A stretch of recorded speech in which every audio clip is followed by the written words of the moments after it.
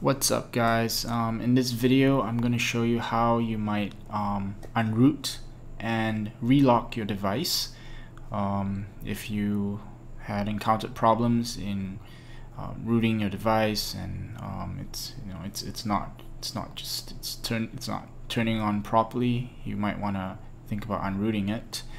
Um, so let's dive right into it. I should say that if you you need to do two things um, before you can proceed to this video. The first is that you need to have um, well actually you only need to do one thing. You need to have the Android SDK installed the Android SDK and I'll post a link to that um, in the description below um, a link to my video describing how you can install Android SDK so if you've not already done that um, go look at that video um, first before coming back to this video. So once you have Android SDK installed, what you want to do is you want to head over to the XDA website, link in description, um, in this post where you can find a Nexus 7 toolkit. So um, this this should work for um, any Android device, right? Um, but is, I'm just using Nexus 7 as an example here. So you can what you want to do is you want to head down here to restore unroot Nexus 7 to stock 4.1 go ahead and click on that.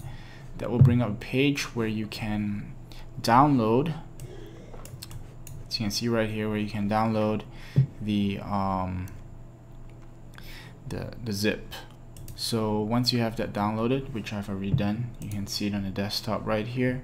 Go ahead and double click and should bring up the folder stock unroot to 4.1 and as you can see on my desktop I also have the Android SDK um, folder uh, which you should have if you followed the instructions on the video to install the Android SDK so go ahead and open up the Android SDK and open up um, the stock unroot folder and on the Android SDK folder what you want to do is you want to switch to platform tools. So go right in platform tools and copy the three files that you see in the stock unroot um, or move them over into the platform tools folder. Now it's important that you're in the platform tools folder and not in a different folder. Alright once you've done that um, you can just go ahead and close that out. Double click on this icon here called click me that will bring up the terminal. And you can see my terminal here. So first thing so from here on it's basically just following the um, instructions given on um, the terminal. So right here as you can see I have a um, I have an, a rooted Nexus 7 device. So I want to go into settings scroll down to developer options and make sure that you have USB debugging checked. So if it's not checked make sure that it's checked. Press OK um, let's ignore that for now. And when that's done go ahead and press enter or yeah press enter to continue. And what we'll do is it'll boot you into recovery. And um, if you look closely you can see um, the lock state down here it says unlocked. So rebooting the bootloader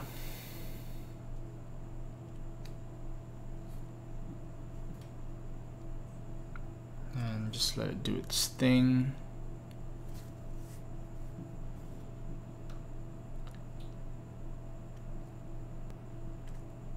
Okay, and it will now say that your device is stock and unrooted, um, but bootloader is still unlocked. So the next step is we need to unlock, um, we, we need to lock the bootloader to, to restore it to its uh, original state. So we now need to start it up again. So do that by pressing the power button on the side of the device and wait for it to boot into um, into the operating system.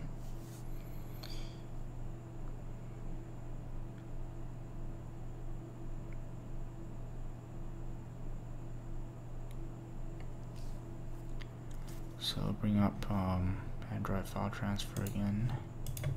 But once I'm here, go into the operating system and just once again ensure that you have USB debugging switched on which I have. And now I press enter. It should now lock the bootloader. As you can see the lock state still says um, well switch to lock now. So see the lock state switch to lock so that's it you're done right? So you are now unrooted and you've relocked your bootloader, so you, can send it back for warranty without any worries um, of having voided warranty, or you can retry your uh, root um, procedures if you failed the first time around. Um, don't forget to subscribe and like if this was helpful. Thanks for watching.